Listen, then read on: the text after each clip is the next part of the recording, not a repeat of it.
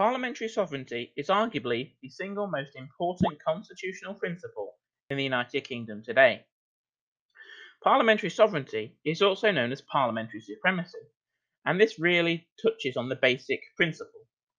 The principle is that Parliament is the supreme, sovereign lawmaker, the highest authority in the land, and cannot be overruled. This form of sovereign power or sovereign lawmaker is found in most countries, and in many countries it is their codified constitution that is sovereign.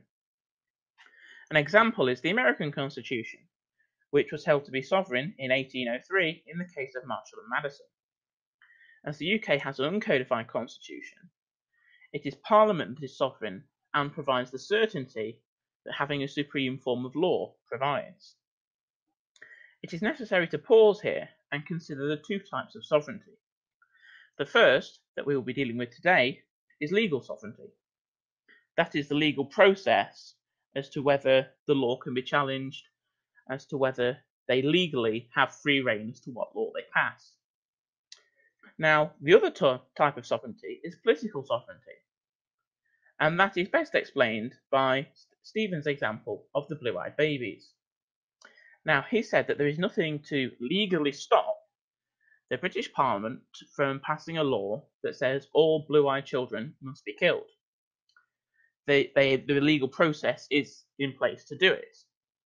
But what would stop them from doing that and carrying out such a law is hopefully their own moral conscience and the fact that any government that enacted that would lose the next election. And because of this, and is this is the case for any democracy, that the government is always bound by the political consequences of their actions. So, if we were to consider political sovereignty, no government would ever, no government would ever be sovereign. So, for that reason, we are just considering legal sovereignty.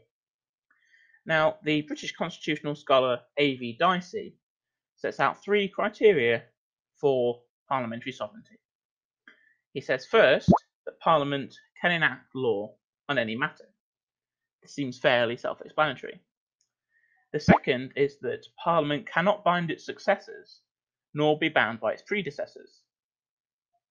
Because if it bound its successors, its successors would not be sovereign. And its third principle is that no one can question the validity of an act of Parliament, not even a court of law. Now, we will deal with a more detailed analysis of Dicey's principles and question whether Parliament really is sovereign in a future video. So, that concludes a brief explanation of parliamentary sovereignty and its importance within the UK Constitution.